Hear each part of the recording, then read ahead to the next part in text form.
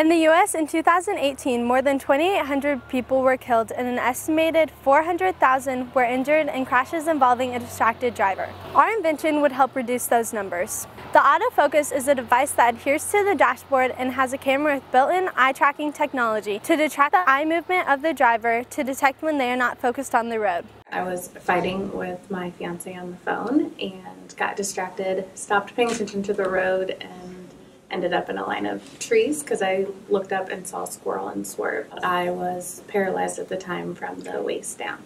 If you're looking below that dash, you're not paying attention to what's in front of you, and that could really save a lot of lives. We came up with this idea after one of our peers recently passed away in a car crash. This accident inspired us to work towards improving safety features for motor vehicles. This innovation would also be more affordable, allowing a wider range of people, specifically the teens in our community, to have access to our innovation. This is the autofocus and it adheres to the dashboard.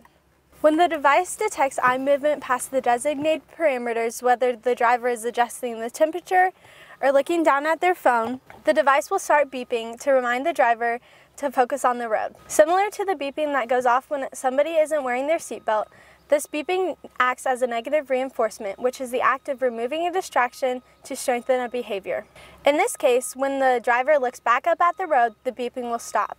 Over time, the habit of distracted driving will be stopped altogether. Part of our innovation consists of a mount in housing to cover the camera. When considering the design of housing, factors such as sustainability, security, and practicality were all considered. This resulted in a mount being made from filament of melted down 3D print projects, which would reduce the amount of plastic in the environment as a result of our product. We created an experiment where we will be watching a person driving to simulate the process of driving while using our device.